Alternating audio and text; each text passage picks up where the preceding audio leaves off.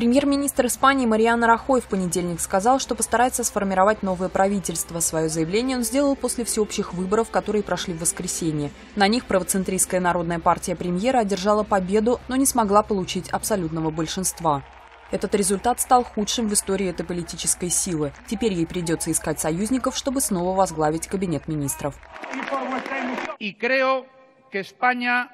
Я верю, что Испании нужно стабильное правительство. За последние четыре года мы сделали многое. Испанцы прилагали много усилий. Теперь мы должны сохранить то, что сделали за это время. Аналитики говорят, что возможно несколько сценариев формирования большинства в парламенте, которое бы составило не менее 176 кресел. Народная партия может договориться о коалиции с социалистами, которые заняли по числу голосов второе место. Однако лидеры обеих политических сил еще до выборов несколько раз говорили, что это маловероятно. Также союз возможен с левоцентристской партией «Граждане». Переговоры о создании коалиции могут продлиться несколько недель. Затем король Испании Филипп VI предложит парламенту кандидата на должность премьер-министра.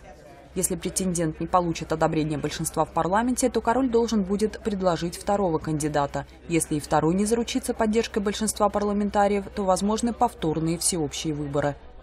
Однако Конституция Испании не определяет срок, в который король должен предложить первую кандидатуру. Это означает, что исход в большей степени будет зависеть от результата переговоров между партиями.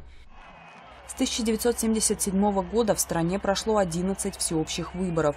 После них новое правительство формировалось в период, который занял не меньше месяца и не больше двух месяцев. Однако аналитики говорят, что в этот раз переговоры могут затянуться, особенно если учитывать, что левые партии получили в парламенте много мест. Если они сформируют коалицию, у них до абсолютного большинства не будет хватать всего одного кресла.